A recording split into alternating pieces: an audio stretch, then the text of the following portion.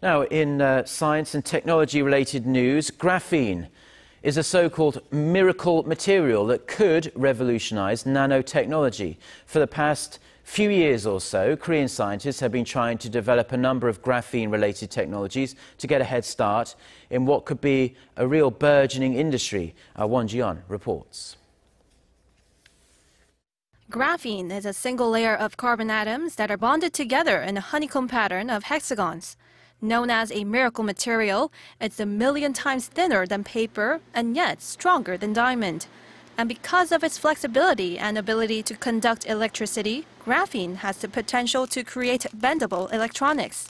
However, despite its outstanding traits, graphene's delicate layer can easily get contaminated during transfer. As a solution, researchers from the Korea Institute of Machinery and Materials have developed a new technology to minimize such damage. We have adjusted the load on the roller machine to prevent graphene from breaking apart during transfer. This way, we can continuously pattern and transfer large sheets of highly conductive graphene. This roll-to-roll -roll machine can directly transfer graphene using a lamination process.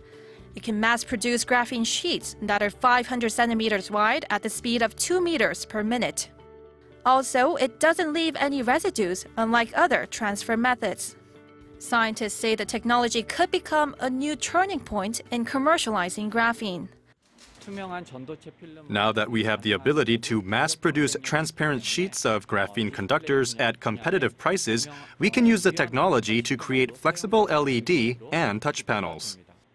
The research is part of the government's efforts to support graphene technology with hopes to make Korea one of the world's first nations to commercialize this so-called miracle material.